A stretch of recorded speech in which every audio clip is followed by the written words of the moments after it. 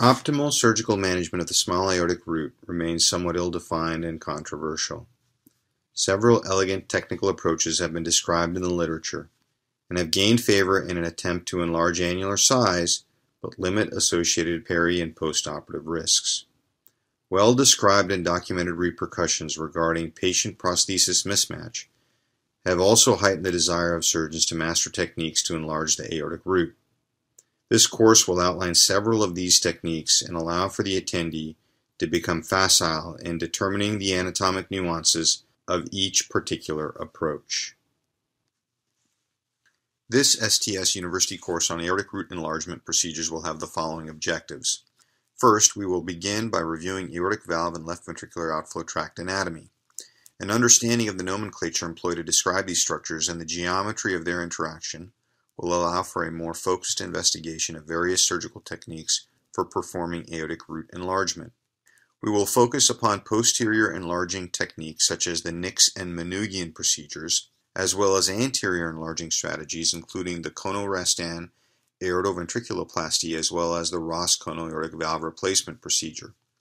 Any discussion of root enlargement procedures also requires an understanding of myectomy and myotomy anatomic considerations and techniques for the left ventricular outflow tract. Finally, at the course itself, some other options including the Bentall type aortic upsizing procedure as well as the Mavroudis procedure will also be discussed and described.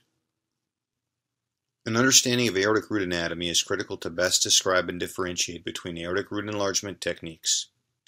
The aortic root consists of the aortic annulus, aortic cusps, aortic sinuses, and the sinotubular junction. The aortic root represents the outflow tract from the left ventricle. It provides supporting structures for the leaflets of the aortic valve, and it forms a bridge between the left ventricle and ascending aorta. These pictorials represent various anatomic areas of importance involving the aorta, aortic valve, and aortic root. All aortic root enlargement procedures are described based upon an anatomic understanding of the coronary artery ostia, the coronary sinuses and commissures, and special attention paid to the relationship of these structures with the conduction system, the mitral valve and its apparatus, as well as the interventricular septum. In addition, the ability to distinguish the membranous portion of the septum is of critical importance. Several preoperative considerations are critical to a successful surgical intervention regarding aortic root enlargement. It is important to fully evaluate adult patients for coronary artery disease prior to intervention. In particular, a clear understanding of the left anterior descending artery anatomy and the location of the first septal branch is critical especially in operative strategies involving harvesting and the use of a pulmonary autograft for aortic valve replacement. Careful review of the preoperative echocardiographic evaluation will allow for strategies to be devised to avoid patient prosthesis mismatch. Concomitant subaortic stenosis can also be identified to delineate the need for associated myectomy or myotomy interventions. In addition, echocardiographic evaluation can allow for a better recognition of potential post-stenotic ascending aortic dilation, as well as a thorough investigation of pulmonary valve architecture for consideration of autograft use. Mitral valve architecture and the degree of potential insufficiency should be noted, as this may be altered following aortic root enlargement. Adult congenital patients in particular, who may have history of associated arch anomalies, may require a CT or an MRI scan to ensure that these structures and potential anatomic anomalies are well defined. Finally, a resting ECG should be ordered and reviewed to evaluate for any preoperative signs of atrial level dysrhythmia, which may be addressed at time of surgical intervention. The following is a general schematic focusing upon the location of incision for several enlargement strategies. There is an error in this pictorial regarding the right versus left coronary arteries. This slide also illustrates to some extent the difference between anteriorly versus posteriorly directed root enlargement techniques. Posterior enlargement of the aortic root is accomplished by either the Nicks or Manouguian techniques. The Nicks method is a vertical incision through the commissure between the left coronary cusp and the non-coronary cusp, extending down into the interleaflet triangle. The Manouguian method is a vertical incision through the mid-portion of the non-coronary sinus, through the aortic annulus and into the anterior leaflet of the mitral valve, and the roof of the left atrium. Both approaches are arguably the most commonly accepted and widely used techniques for aortic root enlargement and will be a large focus of our wet lab course at the STS. Of paramount importance, regardless of any proposed technique, is exposure of the left ventricular outflow tract.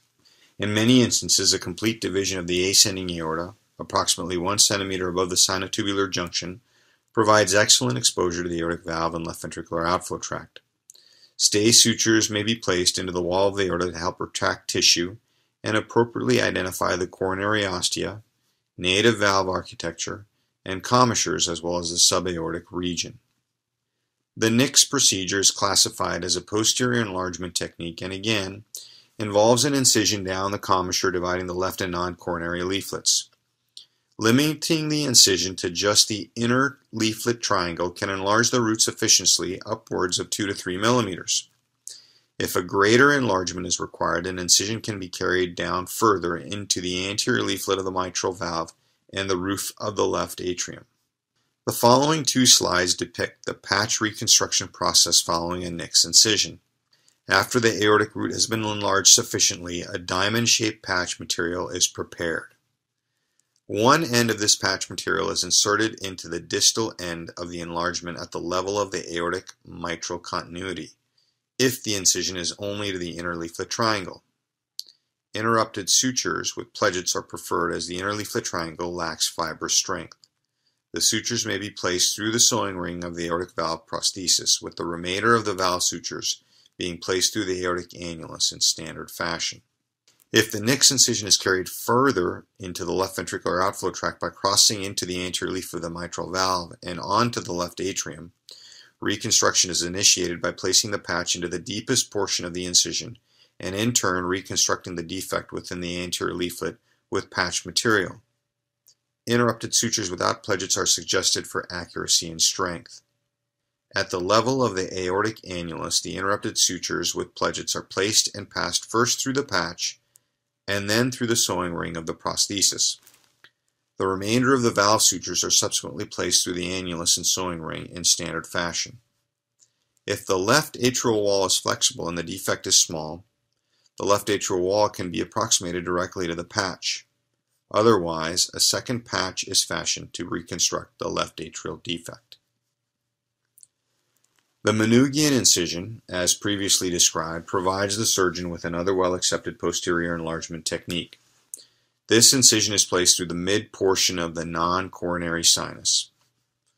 Within the A section of this particular slide, one can appreciate the geometric relationship between where the incision is initiated and the extent of its length through the base of the non-coronary cusp.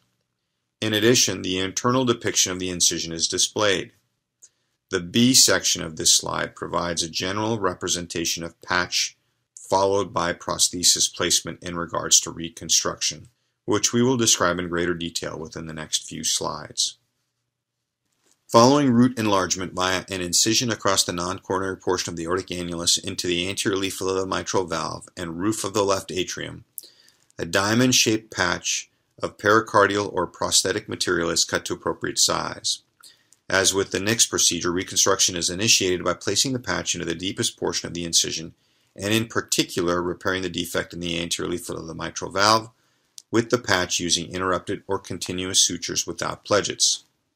At the level of the aortic valve annulus, interrupted sutures with pledgets are placed and passed first through the patch and then through the prosthetic valve. Remaining valve sutures are placed through the aortic annulus in standard fashion. Once again, if the left atrial wall is flexible and the defect is small, it can be approximated directly to the patch material. Otherwise, a second patch is fashioned to reconstruct the uh, left atrial defect. In the anterior enlarging technique of the Konno-Rastan aortoventriculoplasty, the aortic root is mobilized by careful dissection anteriorly between the right coronary sinus and the pulmonary artery.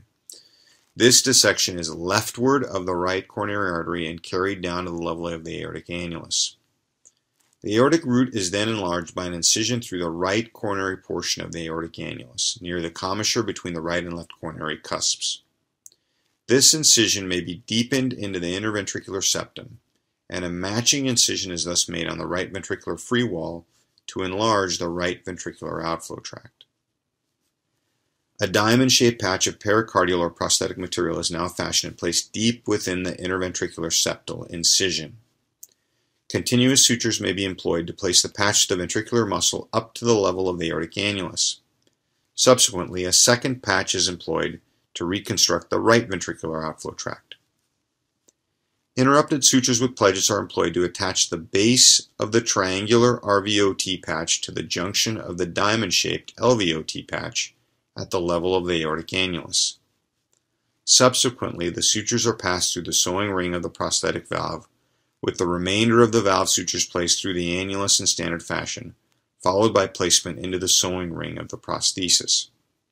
The right ventricular outflow tract patch is now folded over the free wall of the right ventricle, and a continuous suture is employed to attach the patch to the ventricular epicardial muscle. The left ventricular outflow tract patch is tailored close to the defect and may be done in a fashion to also incorporate closure of the aortotomy. Hypoplasia of the left ventricular outflow tract and concomitant pathology of the aortic valve can be addressed successfully by combining the aortoventriculoplasty with pulmonary autograft replacement of the aortic valve. Harvesting of the pulmonary autograft is accomplished by carefully dissecting the pulmonary artery off the aorta and transecting the pulmonary artery to ensure appropriate anatomic visualization of the pulmonary valve leaflets. A small right angle clamp may be passed well below the pulmonary valve annulus and gently pushed through the right ventricle anteriorly. The right ventricle is then divided well below the annulus with direct visualization of the pulmonary valve leaflets. Sharp dissection of the ventricular septal region is accomplished to separate the pulmonary trunk from the right ventricle and done in a fashion to ensure protection of the first septal branch of the left anterior descending artery. A cono-anterior vertical incision is made through the aortic annulus, near the commissure between the right and left coronary leaflets as previously described. The incision is carried into the interventricular septum to enlarge the left ventricular outflow tract and the right ventricular muscle portion of the autograft is inserted deep into the LVOT. Interrupted sutures are now employed to attach it to the defect in the interventricular septum. The autograft is then attached to the aortic annulus with interrupted sutures in standard fashion. In instances where preoperative evaluation has also revealed subaortic narrowing or obstruction, a concomitant myotomy or myectomy, in addition to aortic valve replacement, may be an option for an anatomic and physiologically adequate left ventricular outflow tract. Exposure is obtained as been previously described by either an aortotomy or by a complete transection of the ascending aorta. The coronary artery ostia are then well defined to avoid any iatrogenic injury. In addition, the valve leaflets, commissures, and area of the presumed conduction system are also well identified and protected during the process of myectomy or myotomy. Optimal visualization of the ventricular septum is facilitated by posterior displacement of the anterior wall of the left ventricle with a sponge or sponge stick. A small suction cannula may also be placed across the aortic annulus to retract the anterior mitral valve leaflet and papillary muscles posteriorly and rightward away from the ventricular septum.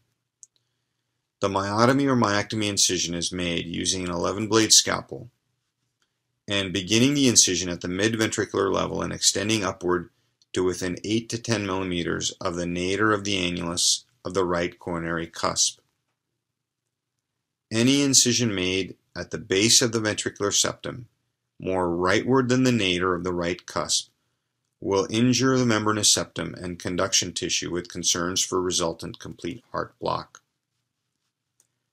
A second longitudinal incision, parallel to the first incision, is made to be carried up within 8 to 10 millimeters of the aortic annulus at the commissure between the right and left coronary cusps. The area to the left of this incision is the left ventricular free wall. These two incisions are now joined superiorly and a hook may be employed to now allow for better traction of the proposed resected muscle, which can be easily elevated. A deep wedge of septum is now resected beginning at the base of the septum and working toward the midventricle. By carefully understanding preoperative TTE or TEE measurements, care can be taken to alleviate at least 1 centimeter of retained septum and to avoid iatrogenic creation of a ventricular septal defect. As with any challenging surgical approach or technique, a mindful strategy regarding pearls and pitfalls should be recognized. Careful preoperative and intraoperative planning is essential to delineate options regarding enlargement techniques, as well as to avoid patient prosthesis mismatch. This is defined as a valve with an area that is insufficient relative to the patient's body surface area. It is calculated as the effective valve orifice area divided by the body surface area. A value of less than 0.85 is thought to be indicative of patient prosthesis mismatch and is also thought to be associated with LV dysfunction in both the early and late postoperative periods. Due to the extensive surgical reconstruction and associated suture lines, appropriate blood pressure management in the immediate post-procedural time, as well as the potential employment of hemostatic agents, should be carefully considered. A thorough survey of all suture lines, especially those located in the difficult to reach and visualize posterior locations, and around the coronary button, buttons should be completed prior to administration of protamine and other blood products. The first septal branch of the left anterior descending artery should be meticulously preserved during any proposed pulmonary autograft harvest and subsequently pulmonary homograft implantation. Injury to this vessel can result in significant and at times irreversible left ventricular dysfunction.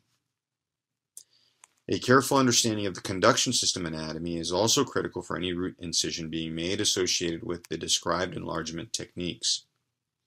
Particular attention thus should be made to the area underneath the commissure separating the right and non-coronary leaflets, extending leftward under the right coronary ostia. In addition, attempts to place a rigid valve prosthesis tightly into the small aortic annulus can produce excessive pressure on the conduction system resulting in dysfunction or block. Due to the significant challenges of any future reoperation on the aortic root following any form of enlargement procedure, great care should be taken to ensure appropriate decision making regarding prosthesis selection and preoperative decision making based upon an understanding for a desired long-term outcome. Finally, it's worth mention and may lead to further discussion at our course the ability to perform complete root reconstructions, and a more dedicated focus on anterior enlargement techniques, which appear to be gaining more favor. This is likely associated with concerns regarding the impact of posterior approaches upon the mitral valve and the associated reconstruction. Standard postoperative considerations for patients undergoing any form of aortic root enlargement procedure will require a judicious balance between fluid resuscitation and appropriate inotropic support. The status preoperatively of left ventricular hypertrophy and function, in addition to the appearance of the left ventricle on transesophageal echocardiography during the completion of the procedure will allow for a framework to drive decision making. Many of these patients will have evidence of left ventricular hypertrophy, and as such, small changes in volume status will have a profound impact upon filling pressures. In addition, the thick ventricular myocardium will likely be sensitive to inotropes and very well may be irritable after intraoperative myocardial ischemia. Efforts should be made to aggressively address any hypertension due both to its impact upon suture line bleeding in the immediate postoperative period, but also upon left ventricular function and cardiac output. In the adult population, placement of an intra-aortic balloon pump may be advantageous in comparison to escalating inotropic support and aggressive volume resuscitation. A low threshold for concern regarding coronary insufficiency should be adopted. Especially in cases of coronary reimplantation, any anatomic distortion may be exacerbated by an enlarged heart during the postoperative period. Prosthetic valve replacement can also impact ostial anatomy and prove to be responsible for obstruction regarding coronary perfusion. In cases of full root replacement, the option of coronary artery bypass grafting in cases of coronary insufficiency may be entertained. The following references were employed for this STS University course video. In particular, the chapter on aortic root enlargement techniques within the first edition of the Atlas of Cardiac Surgical Techniques provides a very useful resource for the topics and techniques discussed in this presentation. The following references were employed for this STS University course video and will be used within the wet lab portion of our educational experience as well.